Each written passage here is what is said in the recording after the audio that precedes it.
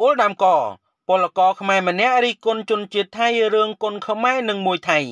ត្រូវបានគេបញ្ឈប់ពីការងារស្រាប់តែលោកជំទាវហ៊ុនស៊ីណាន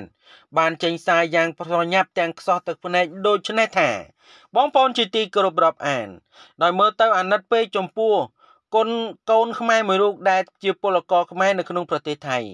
នៅក្នុងពេលថ្មីថ្មីនេះកំពុងតែរីកគុណចំពោះរឿងមួយថៃដែលបង្កឲ្យមានការភ្ញាក់ផ្អើលយ៉ាងខ្លាំងក្រោយពេលដែលថៃគេបានលើកដំកើងមួយថៃថាគុណខ្មែរមិនមានអ្វីជាការអស្ចារ្យសម្រាប់មួយថៃនោះរហូតមកទល់នឹងពេលបច្ចុប្បន្នក្រោយពេលដែលគុណខ្មែរកំពុងតែល្បីល្បាញនៅលើបណ្ដាញផ្សេងផ្សេងទាំងបណ្ដាញអ៊ីនធឺណិតនិងបណ្ដាញសង្គម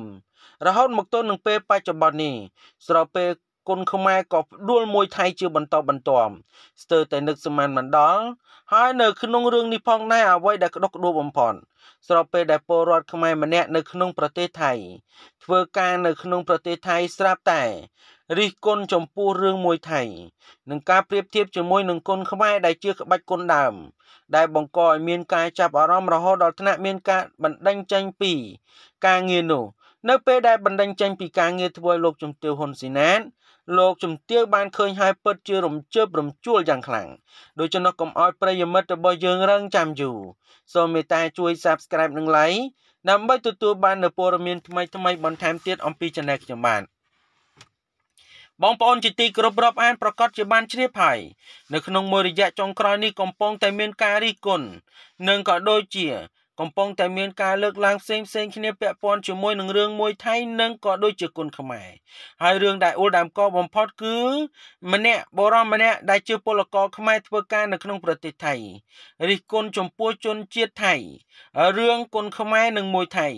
ដែលត្រូវបានបញ្ឈប់ពីការងារក៏ស្រាប់តែលោកជំទាវហ៊ុនស៊ីណាន បានចេញវីដេអូទាំងប្រញាប់ទាំងខ្សោះទឹកភ្នែករួចផ្ដាំទៅកាន់ក្មួយប្រុសយ៉ាងចាក់ដោតនៅក្នុងនោះផងដែរករណីរឿងអ៊ុលដើមកបំផុតនោះដោយលោកជំទាវហ៊ុនស៊ីណាតបានលើកឡើងថាមិញសូមសរសើរនៅក្នុងចិត្តក្មួយប្រុសដែលធ្វើការងារនៅក្នុងស្រុកគេហើយ